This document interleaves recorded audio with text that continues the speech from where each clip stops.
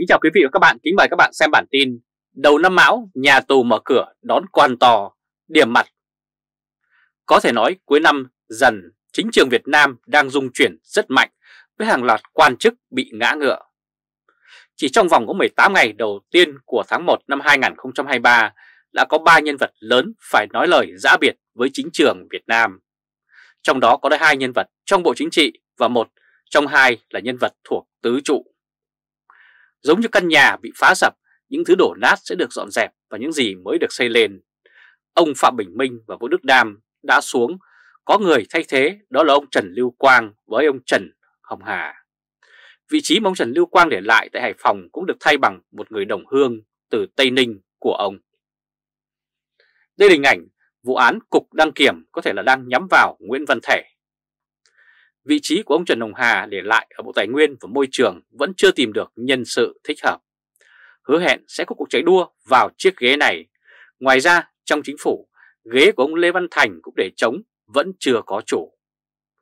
Chưa có là bởi ông Lê Văn Thành vẫn còn sống. Nếu ông Thành giống như Trần Đại Quang thì ghế này sẽ được bố trí cho người khác. Hiện nay, ông Nguyễn Thành Nghị, Bộ trưởng Bộ Xây dựng đang có triển vọng cho vị trí này nhất.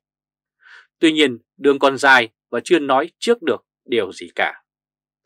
Ghế quan trọng nhất là ghế chủ tịch nước, ghế này cũng tạo thành cuộc chạy đua ở các nơi khác nhằm chám vào chỗ đó. Nói chung, cuối năm nhâm dần là tiền đề cho năm đinh mão. Sang năm con mèo, Trung ương Đảng có lẽ cũng phải bầu bổ sung một vài nhân vật vào Bộ Chính trị. Hiện nay, Bộ Chính trị chỉ còn 16 người, vậy là đang chống hai ghế. Vậy ai là người có khả năng vào thay thế đây? Nhân vật có khả năng nhất hiện nay là Trần Lưu Quang, tân Phó Thủ tướng và Nguyễn Trọng Nghĩa, trưởng ban tuyên giáo Trung ương Đảng. Ông Trần Lưu Quang thì đang đảm nhiệm chức vụ của ông Phạm Bình Minh để lại, nên có khả năng ông này sẽ là Phó Thủ tướng thường trực và sẽ được bầu bổ sung vào Bộ Chính trị. Người thứ nhì là ông Nguyễn Trọng Nghĩa, nắm chiếc ghế là trưởng ban tuyên giáo của Trung ương Đảng Cộng sản Việt Nam. Nhưng hiện nay ông ta mới chỉ là ủy viên Trung ương Đảng thì rất thiệt thòi cho ông Nghĩa. Đây là hình ảnh năm mão hứa hẹn không mấy tốt đẹp cho ông Vũ Đức Đam và Phạm Bình Minh. Đấy là những người có khả năng đón tin vui vào năm mão, còn những người đón tin buồn vào năm mão có thể là ai? Đấy là những người đã ngã ngựa, ông Nguyễn Phú Trọng đang chờ xử lý dần đống đổ nát này. Người đầu tiên có thể sẽ bị sổ khám là ông Nguyễn Văn Thể, cựu Bộ trưởng Bộ Giao thông Vận tải. Hiện nay, vụ án Cục Đăng Kiểm đang rất lở loét có thể đây là vụ án lớn, tương tự như vụ án Việt Á và chuyến bay giải cứu. Vụ án này là tội ác chứ không phải là sai phạm thông thường. Bởi ngoài chuyện hạch sách những chủ xe cơ giới để moi tiền thì còn cho phép những chiếc xe không đạt tiêu chuẩn an toàn lưu thông trên đường phố. Hàng ngày có hàng trăm vụ tai nạn giao thông làm chết vài chục người, trong đó có lỗi không nhỏ của các trạm đăng kiểm này. Vụ án này có thể là đang nhắm đến ông Nguyễn Văn Thể Hai nhân vật khác là hai ông cựu Phó Thủ tướng Phạm Bình Minh và Vũ Đức Đam. Hai ông này vẫn đang trong khả năng bị sổ khám bởi phía chính quyền của Đảng Cộng sản Việt Nam cho biết là hai ông này bị bãi chức chứ không phải là từ chức. Hai ông này có bị sổ khám hay không thì còn phụ thuộc rất lớn vào độ lở loét của hai vụ án lớn, đó là vụ Việt Á và vụ chuyến bay giải cứu. Đây là hình ảnh sau khi ông Nguyễn Xuân Phúc mất chức, số phận bà Trần Thị Nguyệt Thu sẽ khó mà an toàn. Người còn lại có thể gặp hạn đó là có thể sổ khám là phu nhân của ông Nguyễn Xuân Phúc. Sau khi ông Nguyễn Xuân Phúc từ chức thì bà Trần Thị Nguyệt Thu không còn là đệ nhất phu nhân nữa mà chỉ là một thường dân. Việc bắt bà Thu sẽ dễ dàng hơn nhiều.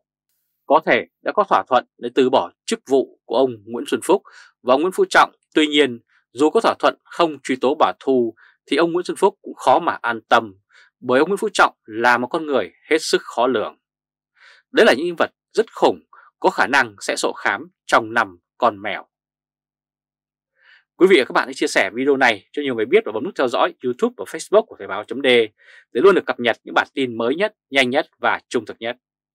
Từ Berlin, Cộng hòa Liên bang Đức chào các bạn và hẹn gặp lại các bạn ở bản tin lần tới. Trung Khoa Thời báo .de Kính chào quý vị và các bạn, kính mời các bạn xem bản tin Hậu ngã ngựa là chấn thương. Liệu bà Trần Thị Nguyệt Thu có sổ khám hay không? Người ta cho rằng bà Trần Thị Nguyệt Thu, vợ của Nguyễn Xuân Phúc, là chùm cuối của Việt Á. Công ty Việt Á có đến 80% cổ phần là cổ đông ẩn danh. Người nắm những cổ phần này rất lớn, ắt phải có thế lực, cũng rất bao trùm, nên báo chí mới không dám nêu tên.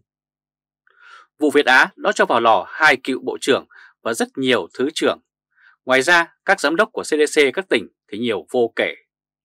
Vụ án này đã kéo đổ một ông phó thủ tướng nhưng tên tuổi của bà Trần Thị Nguyệt Thu thì vẫn chưa được nêu lên trước công chúng. Đây là hình ảnh bà Trần Thị Nguyệt Thu, một con số bí ẩn mà phần trăm của công ty này đang thuộc về ai.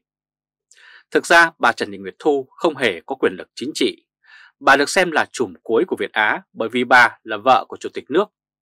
Tấm báo choàng của ông chồng làm cho bà có uy tín lớn và mãnh lực mạnh. Cũng chính vì cái danh phu nhân chủ tịch nước nên đàn em đi theo bà mới đông đến như vậy. Họ tham gia vì họ nghĩ cái ô đó sẽ đảm bảo cho họ được an toàn. Tuy nhiên, họ đã nhầm. Việc ông Nguyễn Phú Trọng dùng Bộ Chính trị ép ông Nguyễn Xuân Phúc phải từ chức cho thấy ông Nguyễn Phú Trọng không dùng thứ cho bà Trần Thị Nguyệt Thu. Muốn bắt bà Thu phải chịu trách nhiệm trước pháp luật thì trước hết phải lột bỏ chiếc áo choàng đệ nhất phu nhân của bà mà để phế chuất danh hiệu đệ nhất phu nhân thì không thể ép bà ly dị chồng, mà chỉ có thể phế chuất chồng bà ra khỏi vị trí chủ tịch nước. Như vậy câu hỏi đặt ra là việc phế chuất ông Nguyễn Xuân Phúc có phải là bước dọn đường để truy tố bà Trần Thị Nguyệt Thu hay không? Hay đơn giản phế chuất để ông Nguyễn Xuân Phúc không còn là cái ô để che chở cho bà vợ tiếp tục làm bệnh? Đây là hình ảnh ông Nguyễn Xuân Phúc liệu có cúi nổi vợ hay không? Thực ra, những tin tức từ bên trong đưa ra cũng rất hạn chế. Tờ Thời báo chấm cũng đã cố gắng tìm kiếm nguồn tin tốt nhất để cung cấp cho bạn đọc. Tuy nhiên, có những thỏa thuận bí mật mà không ai biết được ngoài đương sự. Với kinh nghiệm phân tích tình hình chính trường Việt Nam, chúng tôi sẽ đưa ra một số giả định mà chúng tôi cho là có khả năng xảy ra cao nhất vào trong thời gian tới. Có hai khả năng có thể xảy ra, một là sau khi ông Nguyễn Xuân Phúc mất quyền lực chính trị, ông Nguyễn Phú Trọng sẽ cho Tô Lâm khởi tố bà Trần Thị Nguyệt Thu.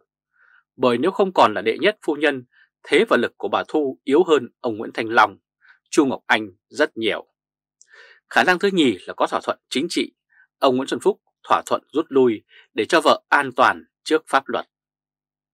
Hình thức thỏa thuận miệng trước ván cờ chính trị lớn cũng đã từng được ông Nguyễn Tân Dũng áp dụng khi rời khỏi chính trường. Đó là chiếc ghế Chủ tịch Quốc hội cho Nguyễn Thị Kim Ngân và thành viên của Bộ Chính trị cùng với chiếc ghế Bí thư Thành ủy Thành phố Hồ Chí Minh cho ông Đinh La Thăng. Cũng cần nói thêm về con người ông Nguyễn Phú Trọng. Ông Trọng từng thỏa thuận để Đinh La Thăng vào Bộ Chính trị, nhưng đó chỉ là nước cờ để cho Nguyễn Tân Dũng nhà quyền lực. Khi Nguyễn Tân Dũng đã buông bỏ quyền lực thì lập tức Nguyễn Phú Trọng tìm cách phế chuất và bỏ tù Đinh La Thăng. Về mặt luật pháp thì bỏ tù Đinh La Thăng không oan, nhưng trong trò chơi chính trị, ông Nguyễn Phú Trọng dường như đã lật kèo khi ra tay hạ Đinh La Thăng. Còn bà Nguyễn Thị Kim Ngân, phần là phụ nữ, phần bà không để lại tai tiếng gì, nên ông Trọng để cho ngồi yên ở vị trí ghế chủ tịch quốc hội. Đây là hình ảnh ông Nguyễn Phú Trọng là người rất khó lường. Câu chuyện ông Nguyễn Phú Trọng lật kèo trên bàn cờ chính trị là chuyện không mới. Ông Đinh Thế Huỳnh từng là một hạt giống được ông Trọng chọn, nhưng rồi cũng bị ông loại ra khỏi chính trường, thường trực ban bí thư giữ nhiệm kỳ với nguyên nhân rất bí ẩn. Ông Nguyễn Phú Trọng là người làm chính trị chuyên nghiệp, là người thâm trầm và có toan tính hơn người. Cho nên nếu ông Nguyễn Xuân Phúc có thỏa thuận rút lui để an toàn cho vợ, thì vợ ông cũng chưa chắc đã được an toàn. Trò chơi chính trị là như thế, họ không giữ lời hứa bao giờ cả. Quý vị và các bạn vừa theo dõi chương trình truyền hình trực tiếp của Lê Trung Khoa, Thời báo chấm với bản tin Hậu ngã ngựa là chấn thương, liệu bà Trần Thị Nguyệt Thu có sổ khám hay không? Quý vị và các bạn hãy chia sẻ video này cho nhiều người biết và bấm nút theo dõi YouTube và Facebook của Thời báo chấm để luôn được cập nhật những bản tin mới nhất, nhanh nhất và trung thực nhất. Từ Berlin, Cộng hòa Liên bang Đức chào các bạn và hẹn gặp lại các bạn ở bản tin lần tới. Trung Khoa Thời báo chấm